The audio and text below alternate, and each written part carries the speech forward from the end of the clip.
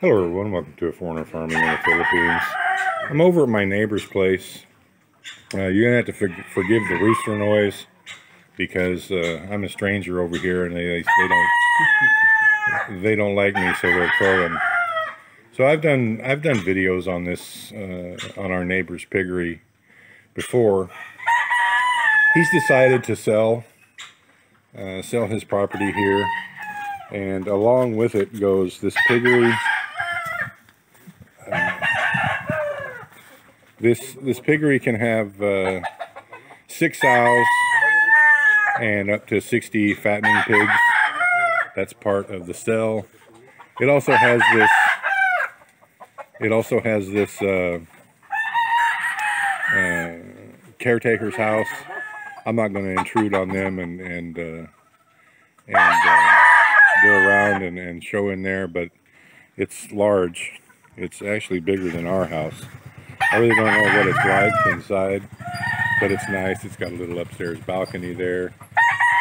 And it's been rebuilt because the typhoon uh, basically, well, it ripped the roof off of this. We traded roofs. He got some of our, he got some of the roof from our house over there, and we got some of the roof from uh, this house. but anyway, this, uh, depending on exactly what a buyer would desire, this uh, property is either 1.5 or about two and a half hectares. If they, um, it's a, it's a, it's not an either or. It's a, the, this area here is 1.5 hectares, and if they, if a buyer wanted a larger uh, holding,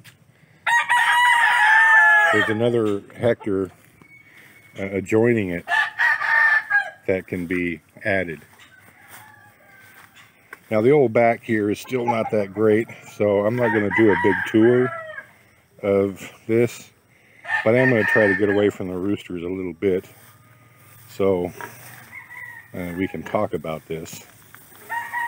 Now, down there, for those of you who uh, have been with the channel for a while, uh, there's a this owner created originally he was going to use this farm and he did use it for a while as a duck raising operation for uh, meat and balut.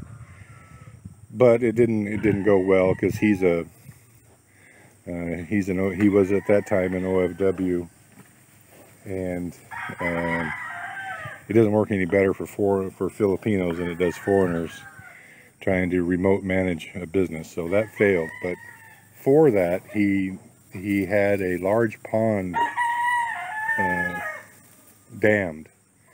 He didn't dig any of it out, but he dammed. It was like a, a a gully that he dammed up. So it's about well, it's several hundred square meters, and when it's full, it's three or four feet deep. Now, amazingly enough, we've had enough rain. Uh, to almost fill it up in the last couple months. It had been dry for years. Uh, they use that pond to irrigate rice fields. There's rice fields. Maybe I can get down here and get a little bit better view of the rice fields.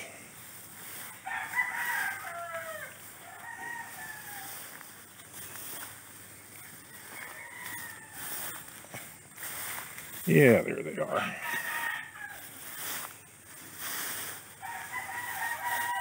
So these are the rice fields back in there.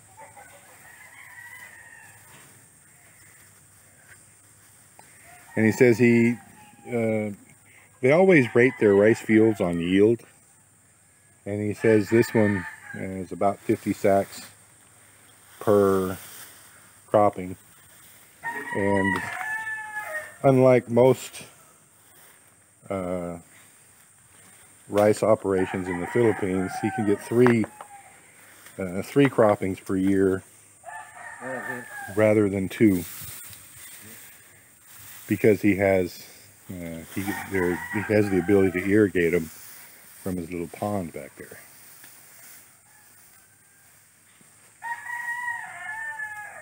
So uh, that would be, I don't know, 150 sacks of rice per year potential.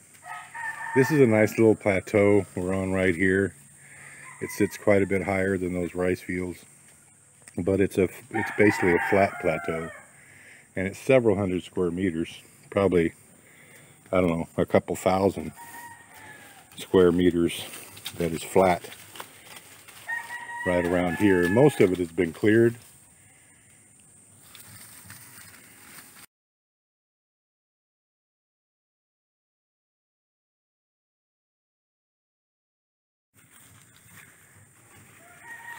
This is a nice little place. So uh, the asking for uh, the 1.5 hectare, which includes the piggery and the caretaker house. There's also a, a nice well on it. Um, the pond and the rice fields um, is uh, 350 per square meter. And again, that's about, it's uh, give or take 1.5 uh, hectares. And if you want the additional uh, well, let's see. He said he said 5.5 million for the 1.5 hectares, and if you wanted the basically 2.5 hectares, it would be 7.5. Uh, 7.5 million pesos, which is I don't know. With the exchange rates anymore, it's hard to keep track, but uh, just say 150,000 pesos.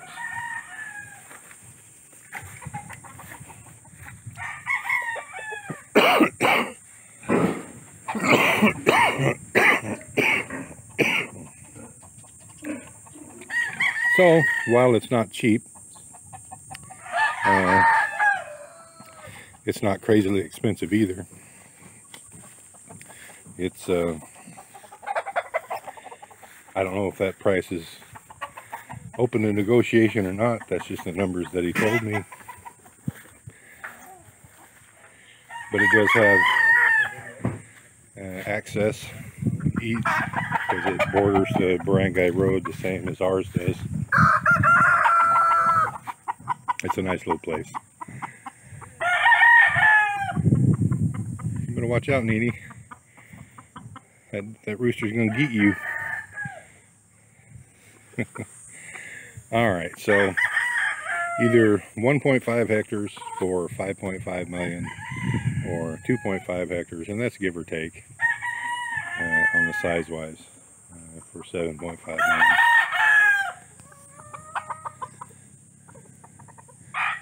Thank you everyone.